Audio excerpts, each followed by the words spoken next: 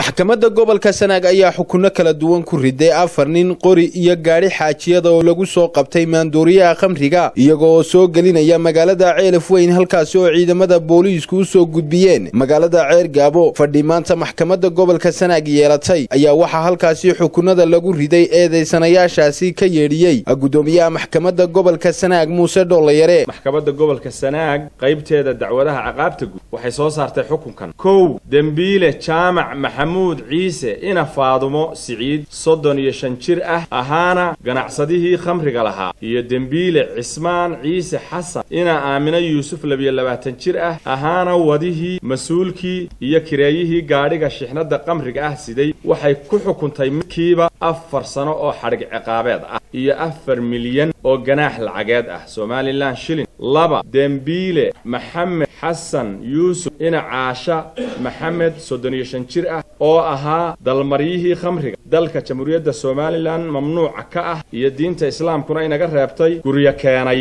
Buuhoodle ilaa iyo ceelaf weyn. Hase yeeshee aan ahayn hase yeeshee aan isagu sidan khamriga waxay ku xukuntay hal sano oo xadhig ciqaabeed ah iyo afar milyan oo ganaax lacageed ah gaadhiga lagu qabtay khamriga ee noociisu yahay xaajiyad lambarkeeduna yahay hal sagaal sagaal toddoba shan somalilan lambar. Waxay ku xukuntay ganaax lacageed oo dhan boqolkiiba shan qiimaha gaadhiga. Afar qoriga noociisu yahay a k candhalaab iyo rasaastiisa. Waa hanti dowladeed waxaana la wareegay qaranka jamhuuriyadda somalilan. Waa waras. Shan maxkamaddu waxay amraysa in si deg deg ah oo ka bilaabanta marka xukunkan ku dhawaaqistiisu dhammaato in la burburiyo la baabi'iyo kadibna dab la qabadsiiyo. Dhammaan shixnadda khamriga ah ee ka kooban boqol iyo lixdan iyo afar walxood iyadoo lagu fulinayo meel fagaara ah. Racfaan baa u furan dhinacii aan ku qancin. Waxaa iyaguna halkaasi ka hadlay guddoomiyaha maxkamadda rafcaanka gobolka sanaag ku-xigeenka xeer ilaaliyaha maxkamadda gobolka taliyaha qaybta booliiska iyo badhasaabka gobolka sanaag axmed cabdi falay ilaahay baa mahad leh inoo suuro geliyey khamrigan faraha badan in la soo qabto oo maanta in halkan ku burburinayno.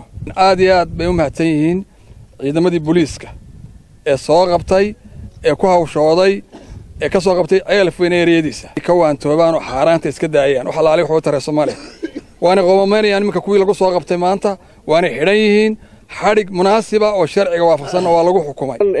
Lagu fulinayaa gubistiisii iyo burburintiisii khamri dhan boqol iyo lixdan xabbo oo ku jira caagado iyo ma garanaysaa quraarado. Khamriga waxaa lagu soo qabtay saddex eedaysane saddexdii eedaysane waxaan ku eedaynay xeerka xeer lambar koob iyo labaatan labada kun iyo laba qodobkiisa afraad. Khamrigaas oo ay ka ganacsanayeen eedaysanayaashii. Halkan waxaanu ku gubaynaa laba boqol oo litir oo khamri ah darayjiin baa la idhaahdaa khamrigan. Xagga etoobiyuu ka yimiday.